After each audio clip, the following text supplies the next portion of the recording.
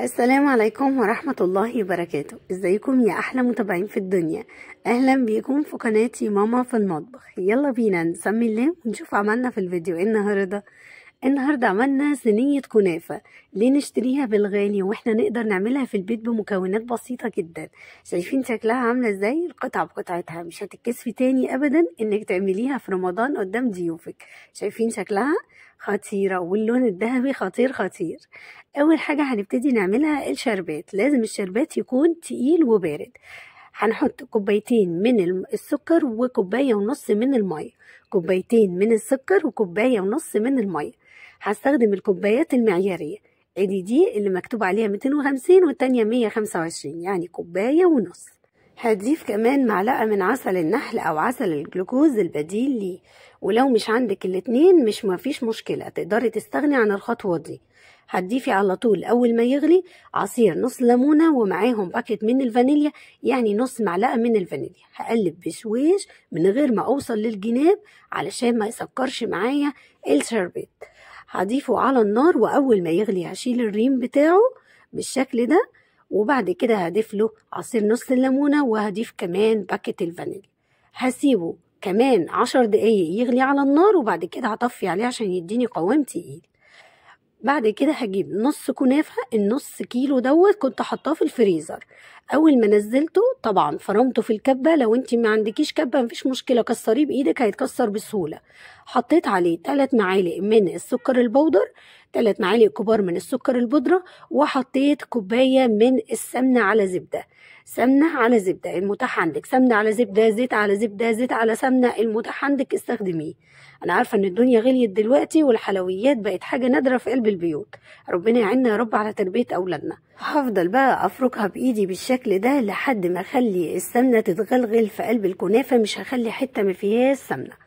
بعد كده هوت هجيب أي صينية الصينيه دي مقاس 30 هدهنها آه زبدة أو سمنة أو أي مادة دهنية عندك وبعد كده هفرش نص الخليط وهفرده بقلب هراسة الفول ديت أو بظهر معلقة بس المهم إنك انت تفرديه كويس وتعملي طبقة disc كويس متماسك تمام؟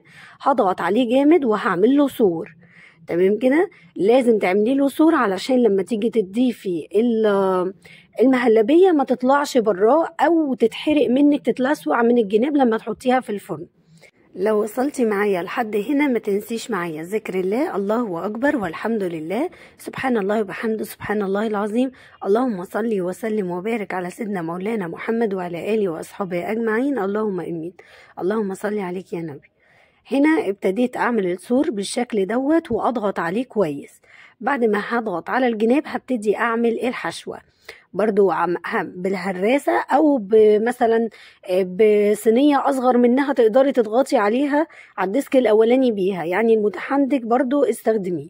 جيبي بقى أي حلة صغيرة أو كسرولة ضيفي فيها خمس معالق كبار هرميين من النشا النشا اللي هو ال corn flour وهضيف كمان السكر والسكر هنا حسب الرغبة. عايزة عايزة تزودي عايزة تقللي براحتك. تمام كده؟ أنا حطيت هنا معايا أربع معالق من السكر. لو أنت عايزة تزودي براحتك. ما تنسيش إن في عسل شربات. وما تنسيش إن إحنا حاطين برضو سكر powder تمام كده؟ ضفت نص معلقة من الفانيليا السايلة عشان الفانيليا السايلة هنا بتدي ريحة أكتر وأقوى من الفانيليا ال powder لو متاح عندك تمام. مش متاح ضيفي عادي الفانيليا ال powder وضفت كمان أربع كوبايات لبن حليب كبار. وهقلب على البارد كويس جدا وبعد كده هضيفه على النار مع التقليب المستمر عشان ما يحصلش معاكي أي تكتلات. هفضل أقلب باستمرار لحد ما يتقل معايا القوام ويبقى مهلبية. هنزل على الديسك الأولاني للكنافة بالشكل ده. وهساوي السطح وبعد كده هسيبها مدة لا تقل عن ربع ساعة على رخامة المطبخ لحد ما تاخد التبريد وتبقى معايا طبقة متماسكة أقدر أفرد عليها الطبقة التانية ما تحطيهاش وهي سخنة كده. تمام؟ طبعا الفرن لازم يكون مسبق التسخين يعني بكون مشغلاه علشان يسخن ويحقق لي درجة حرارة عالية. كنت مشغلاه على 190 بفك بقى بقية الكنافة لأن عبال ما عملت برضو الإيه؟ ال- الطبقة الأولانية وسبتها شوية كانت تماسكت شوية الكنافة بتفكيها بظهر المعلقة كده تفضلي تفركي فيها وبعد كده تفرديها على السطح بالشكل اللي انت شايفاه. بجد كانت صينية تحفة تحفة تحفة. ولازم الشربات يكون بارد وهي تكون طالعة سخنة يقابلوا بعضيهم. تمام كده؟ هي سخنة والشربات يكون بارد. تمام؟ هفرد بقى بالشكل ده برضو بظهر المعلقة وبعد كده هضغط عليه ب... آه ب... بالهراسة وأول ما طلعت من الفرن كان شكلها ذهبي وخطير خطير. طبعا بتسيبيها وبتراقبيها لحد ما بتبقى ذهبي من الجناب وعلى الوش بتقومي مطلعاها لو لقيتي إن الجناب احمرت وهي لسه ما احمرتش الوش تقدري تشغلي الشواية عليها بس خدي بالك عشان ما تحرقش منك. يعني كوني جنبها. هنا الشربات حطيته بقى بارد وتقيل تمام كده؟ هينزل عليها بالشكل اللي انت شايفاه هتتشربه بعد كده هقطعها القطعة هتطلع بقطعتها لأنها بردت معايا برضو سبتها شوية عبال ما تمسكت وبردت وبعد كده ابتديت أقطعها هتطلع قطعة شايفين القطعة بقطعتها طالعة كاملة متكاملة. متهيألي علشان تجيبي صينية زي دي هتتكلفي الشيء الفلاني. ويا سلام لو عندك سمن بلدي يبقى خطير خطير. الريحة دي هتقلب الدنيا. لا تقولي لي طلعت ولا السعيدي ولا لابوار. حاجة كده خطيرة وطعمها جميل. كل سنة وإحنا طيبين وأتمنى ما كنتش طولت عليك الفيديو وتكوني استفدتي.